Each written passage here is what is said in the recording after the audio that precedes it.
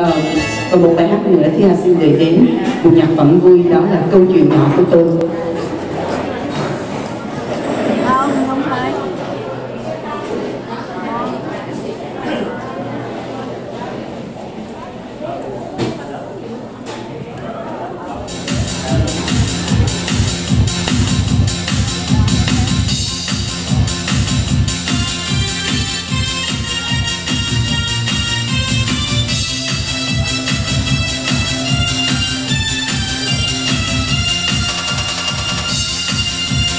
Ai cho em mùa xuân lòng em mùa xuân trong ánh mắt cười ai cho em đủ hoa, cho đủ hoa đến bên tôi ngồi. Tôi nghe đất trời, bỗng nhiên thấy thang hơn tôi nghe mỗi người, bỗng nhiên như vui hơn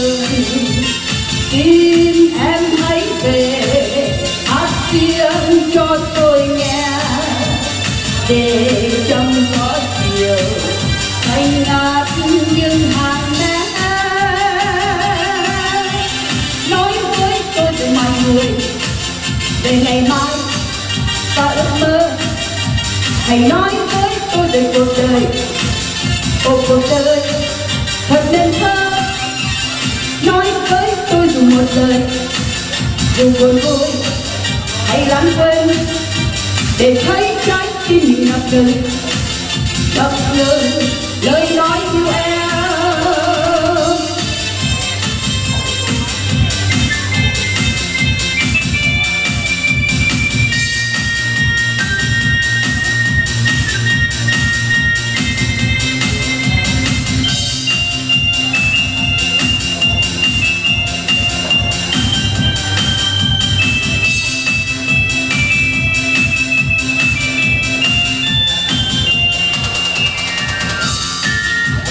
ai cho em mùa xuân long lanh mùa xuân trong ánh mắt cười ai cho em nụ hoa, cho nụ hoa đến bên tôi ngồi.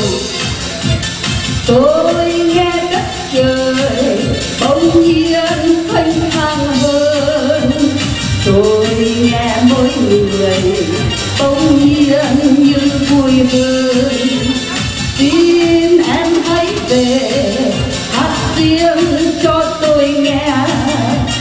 để trong gió chiều.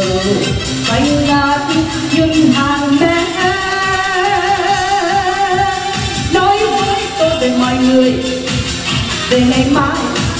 Và ước mơ, hãy nói với tôi về cuộc đời. Ô, cuộc đời thật đến thơ. Nói với tôi dù một lời, dù buồn vui. Tim lòng thơ, lời nói yêu em. Nói với tôi về mọi người.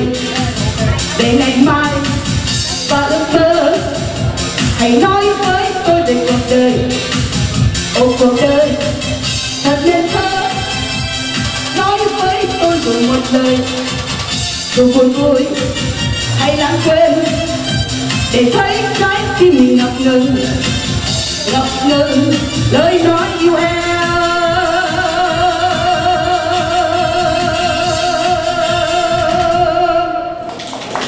Gracias.